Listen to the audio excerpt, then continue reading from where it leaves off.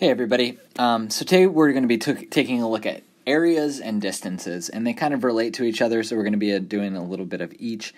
Um, so this problem says find the distance between the two points. So we're just dealing with a basic number line. When we get into class, we're going to do a little bit more complicated ones, but how do you find the distance between those two points? We do it by taking the difference between them. So um, you always want to do the larger minus the smaller unless you want to do something like an absolute value. But when we talk about distance, it's always going to be a positive value.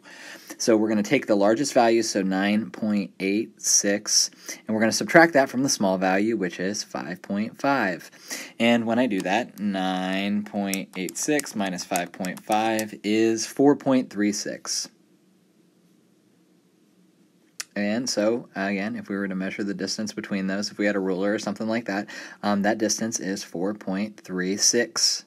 We don't have a unit here. If this was in inches, that would be something different. We could write a unit, but um, since we just have numeric values, it is going to be 4.36.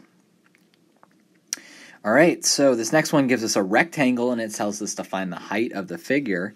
Um, it gives us an area of 34.7 and it tells us the base, the value of the base is 6.96. Remember that the area of a rectangle is equal to the base times the height. So when I look at that, what would my area be? It would be 34.7, and that's equal to, what is my base? We just said that was 6.96, and then I'm not going to use the x value. We'll use a dot here to indicate multiplication. And then the height is, we don't know, so let's call that, let's just leave the h there.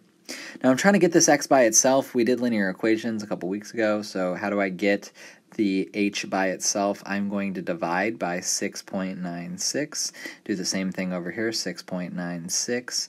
And 34.7 divided by 6.96 is 4.9856. Let's just round to, um, let's round this to two decimals, so 4.99. is our height. Okay, so you just plug the values in and get the h by itself. And the last one we're going to look at today, it says given the two points below, sorry, I'm going to need to zoom out here. Given the two points below, construct a rectangle with area of 1 and then find the height of the rectangle. So here's what we're going to do. We're going to create a rectangle. Again, I don't have a ruler, so it's not going to look like the best in the world, but I'll do my best. And we know we want the area to be equal to 1, all this space in here. So how do we then go find what the height would be? Well, first thing we need to do is we need to find what the value of this base is right here.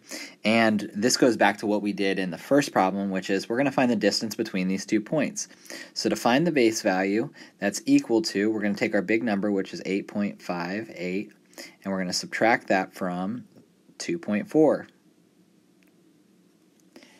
8.58 minus 2.4 is 6.18. So our base value is equal to 6.18. Now, again, I think we're going to use a little bit of what we learned in the last problem. We know that this base value, let me uh, erase what I have here. So we know this is 6.18 across. That's this right here.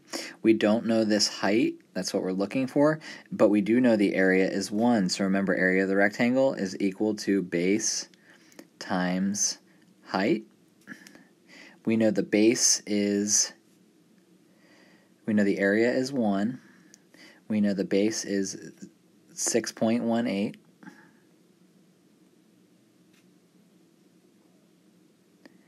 and this is times.